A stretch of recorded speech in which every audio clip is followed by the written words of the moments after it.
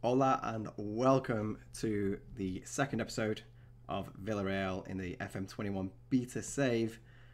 We are at match day one at home against Sevilla. It's going to be a pretty tough test against a, a rival of ours. They are going to be challenging for the top four along with us, and I fully expect them to be there near the end. They've got a very strong squad, so this uh, opening day fixture might you know, even if we lose, I'm not going to take too much from it. You know, I, th- I, think we'll be okay throughout the season, but hopefully we can start off strong and positively here with a win. Um, I'd probably take a draw now if you asked me, but we're going to try and get all three points. We have made some transfer business uh, before the match. We have sold, most importantly, Carlos Bacca. We only sold him for 1.4 million in total, but it got his 70 grand a week off the wage bill, which was basically 10% of the whole wage bill. So that's a huge amount of money back into the pot for us to buy more players with and uh, ship their wages around. We also got rid of uh, Funes Mori. Like in, like I said in the last episode, I'm, I'm not I'm not his biggest fan in real life, and that might have fueled this transfer, but we end up getting nine million from Burnley for him, and I'm just happy he's gone. I'll be honest. We did get a cheap replacement, so we've spent a bit more money than the 13 million that we originally were assigned with. Uh, we'll start at the top. Our newest and most expensive purchase comes in the form of Ander. Don't ask me to say his surname, please. I, I, I just, I just can't. Bar- Baronets, Baronetska? We'll go with that. Uh, he is a left winger from Real Sociedad. 18 years old, three star current ability, five star potential. He's going to be in the Spanish team for years to come and for not a lot of money okay it's a lot of money to us but not a lot of money in the grand scheme of things i couldn't really say no. It was in an area we were looking to improve anyway. Um, yes we have our youth player jeremy as well but he's only currently two star at 17 years old so gives them both fresh competition. Um, and i don't think jeremy's quite ready yet where i think Ander is very much ready to take on this starting role for us. Yeah, I mean, apparently Moi Gomez is better than him, but I'm not going to uh, put a lot of stock in that. We also brought in Roberto Gagliardi, uh, Gagliardini, Gagliardini. I will get there. Uh, for five million from Inter, I think that's an absolute bargain. Gives us more depth and strength in the midfield. He's a box to box player. I love box to box players. Uh, he's got all the physical attributes, teamwork at 19, tackling at 17. I didn't realize he was that good at it, to be honest. But you know, I thought he was more known for his passing. But excellent, great, even better. Um, so he will uh, he will definitely be a mainstay in our midfield for a few years to come. Yeah, only 26 years old, so we'll definitely get his best years out of him for us. We brought in the cheap replacement for Funes Mori in the form of Juan Cruz Komar. Uh, he came from that Argentinian club, Ta- Talleres, sure.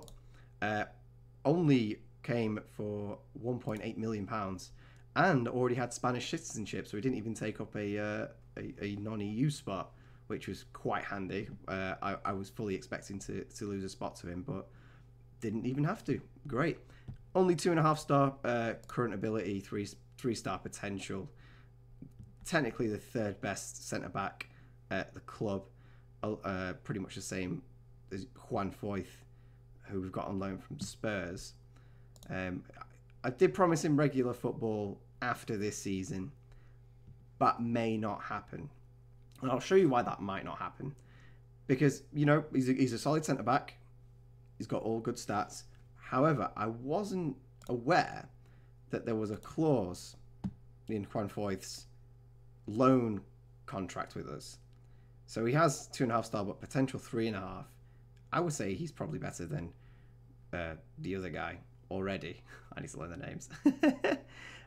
but the clause I'm talking about is an optional future fee of 15 million pounds, and I, at the moment, I'm going to try and plan to take it because for a three and a half star centre back, that's not bad business. So we'll see how the season progresses. We'll see who else becomes available. But I think 15 million pounds for Juan Foyth is a tidy bit of business. Um, I fully expect him in real life to be bought by Villarreal by the end of the season. So we'll see if we uh, see if we follow in that route. Who else did we bring in? Let's have a look.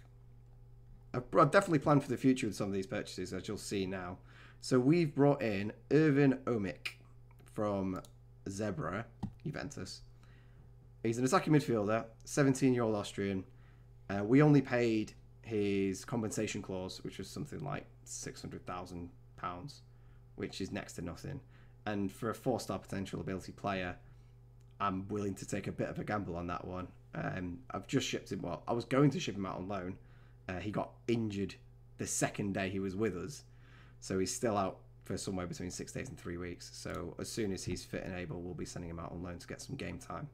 One I'm particularly proud of is Alejandro Francis. Um, right back, we bought from Real Sociedad as well. No, no, Castellon. Sorry. Oh no, sorry, from Zaragoza we bought him. We've loaned him to Castellon. Um, yet again, same kind of player, except for he he's already a two star ability at 18 years old, Spanish. He's got bags of ability, absolute bags of it. When he was here, he was showing up as a five star potential ability. So, get him out on loan this season. Probably bring him into the fold next season. If he's at two and a half star, I'll, I'll take the risk then.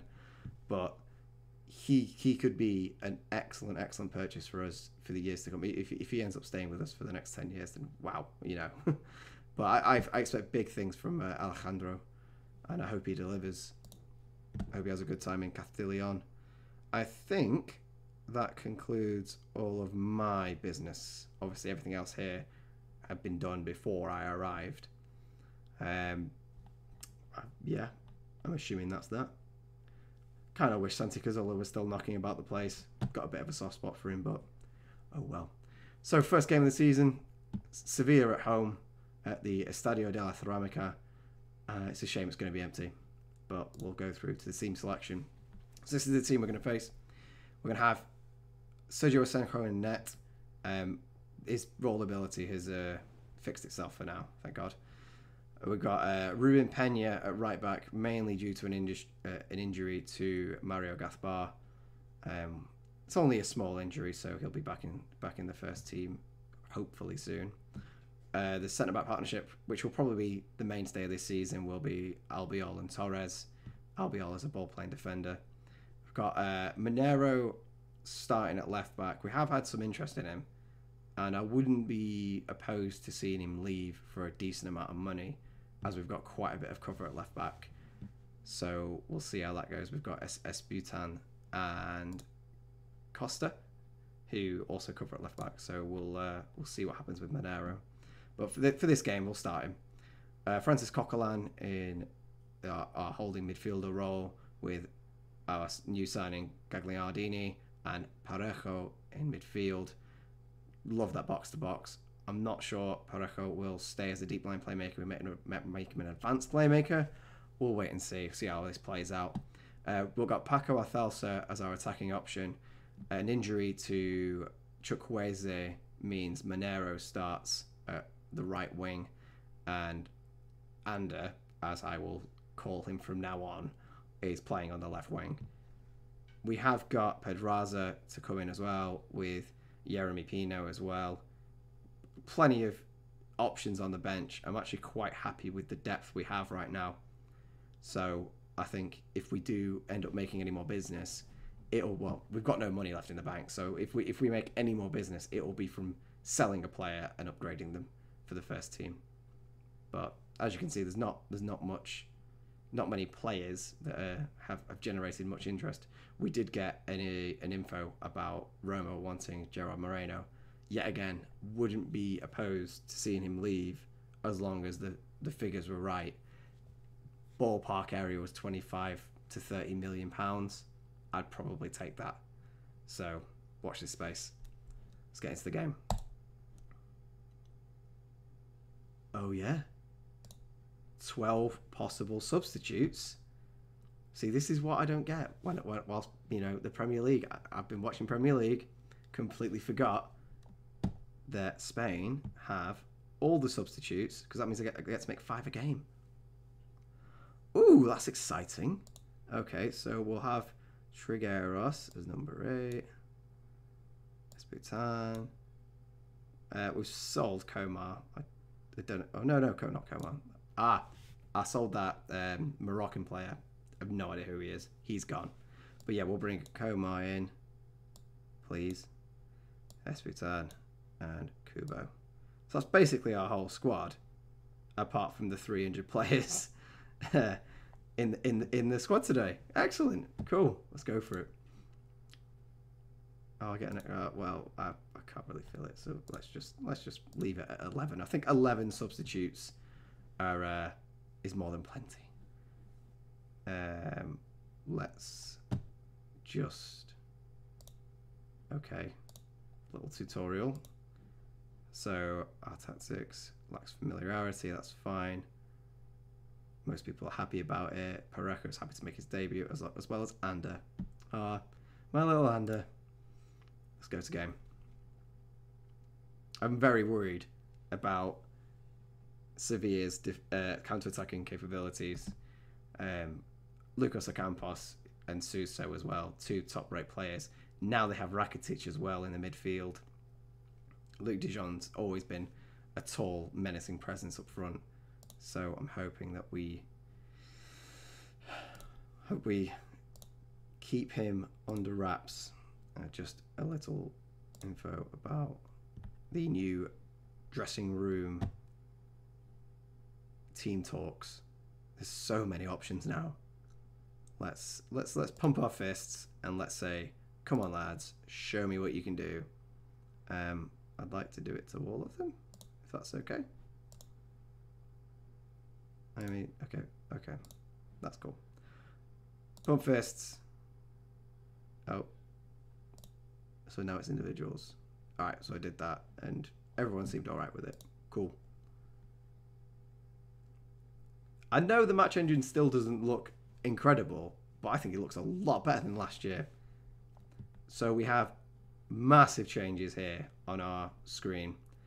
Um, I'm still not sure about the dugout screen because that just looks like a big old pile of mess to me. Uh, the biggest change we have is XG. Now, XG is basically expected goals from shots. So the more shots you have in the better positions that you have, say you get a clear shot on target, your XG will go up massively. Whereas if you're shooting from 30 yards out, it'll give probably a 0.1 or something, you know, quite small. So you can really tell a lot from this new XG stat. So not even a single highlight in the first half. But as XG will show you, we have pretty much dominated it. Sevilla only managing one shot in the whole of the first half, and our XG is 0.5 compared to their 0.03, which is really is abysmal. Um, so that's very positive for us. However, the fact we haven't scored is not so positive. So we'll be going to the dressing room. I'm not going to throw the water bottle yet, as tempting as it is. We're going to outstretch arms. We're going to say, I'm pleased with how things are going. Keep it up. Everyone looks inspired and motivated. That's what we like. Why are we getting this now? Oh. Okay, that was weird. Let's go for the second half. Hmm. Our first highlight. Thank God. 55 minutes in, and Sevilla are playing out from the back from the goalkeeper, Jesus Navas. running down the right hand side, plays it through to the centre to Rak- uh, Rakitic, back to Navas, plays the ball through to Ocampos, who's charging out a defensive line, and he puts it wide. That was a good chance for Ocampos. Um, 60 minute substitutions are needed, clearly, because we have not scored yet, and we are we are we're winning the game, but we're just not doing exactly what we need. So, oh my god, this screen's so different. Where do I go for? Is it this one? No. Is it this one? No. Okay. You have to give me a minute. Okay, so I finally found the tactics screen. Yet again, looking very different. Uh, looking at the players, um, a few players have had a terrible game. Sergio Santos had a terrible game considering it's nil-nil. I'm not quite sure why. But we're going to bring Jaume Costa on for Alberto Moreno. We also have these new indicators of fitness as the game's going for more realism. You know, before we had a statistic out of 100, whereas now it's a bit more. You know, it's not as as, as precise, which I guess in essence it, it kind of is, because you don't know down to the percentage how tired a player is. So looking at the overall composition here, Ander and Gagliardi are our most tired players uh, Gagliardi, Gagliardini is, no it's no surprise really because he's the box to box, so he's been running everywhere, and and it only came in I think it was only a few days ago, so we should probably look at changing them. Um, I'm loath to change Gagliardini because he's actually one of our best performers, so we might leave him on the pitch for now. We'll bring on Pedraza for and uh, make him a We'll keep him as an inverted winger. He seems okay with that.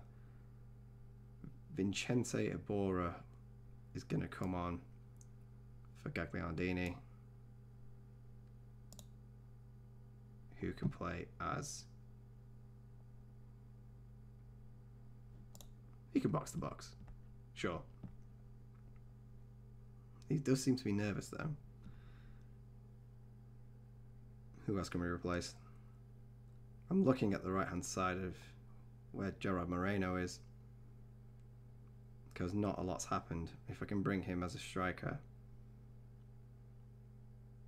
yeah, why not? So we'll put Gerard Moreno up top, have him as an advanced forward, and then bring on Jeremy Pino on that inverted winger. I'm going to make Pedraza an attacking as well. And I'm going to make Dani Parejo an advanced playmaker with an attacking mentality. Because that's the thing. I, I'm, I'm looking for a goal. We, we've got we've got the balance of play. So now we just need to execute a finish. I think that's what I'll go with for now. Confirm the changes. And we'll continue the game and hopefully that will make the difference.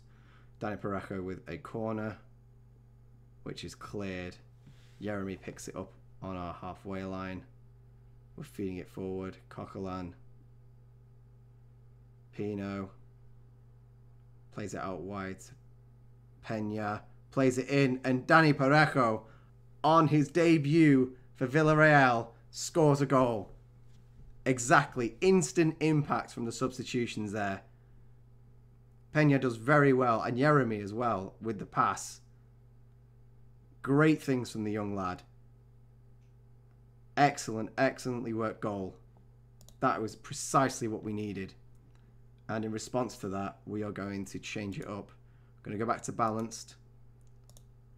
We're going to shout out to praise them and hopefully see out this game that was a really well worked goal. That was excellent. Good stuff.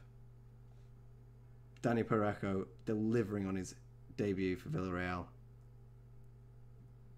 And the XG tells the story, really. Sevilla playing out from the back again. Big ball forwards. Comes out to Pedraza. Coquelin plays out to Costa. He's looking for the cross. Back out to Coquelin. He takes a long shot. Ooh! A whisker past the post. And that would have been something. Both players who came from Valencia scoring for Villarreal on their debuts, they'd be seething. I think they're seething anyway. I, I can't imagine what a Valencia fan must be thinking right now. How their club's just been run into the ground like this. I mean, in real life, they're still doing okay, but you know, having to sell all your best players because you're in a financial hole is not where anyone wants to be. Jeremy has the ball out on the right, plays it in. Pedraza through to Moreno, and Moreno has his first goal this season as well. Striker off to a good start. is this where Roma come in with like thirty million pounds and I go, yeah, you played really well, Gerard, but you're uh, you're off for Italy, mate. Thanks for that. I don't know. I, I I might have to start looking for a replacement now so that I know if if he does go, we've got somebody who's good enough to fill in that role. Because we, we need competition for it. Obviously, we've just got the two, but you know we need someone of that ability. If if we're going to lose him, we need someone of his caliber to come in. 2 0 against Sevilla. That's a pretty good start. Very happy with that. I'm, I'm, I'm, i honestly can't fault anybody. I mean, Pau Torres doing excellent. Jeremy Pino was, was inspired when he came on. The 17 year old lad. I love it. And Parejo is going to be instrumental to our season. He's going to be so important. He's I haven't built the team around him, but that's the way it kind of is. He's the focal point in the middle of the midfield, and he's going to be pinging passes around, getting himself into attacking positions. He's the guy that's going to make it all happen. Good stuff. Well, uh, outstretched arms. A good win, boys. Well done. Greens all around. Great first first match. Two achievements for me, clean sheet and first victory. Love it. Great stuff. So now we have Levante away. Hopefully, well, I want to say it's hopefully an easier game, but that was pretty easy anyway.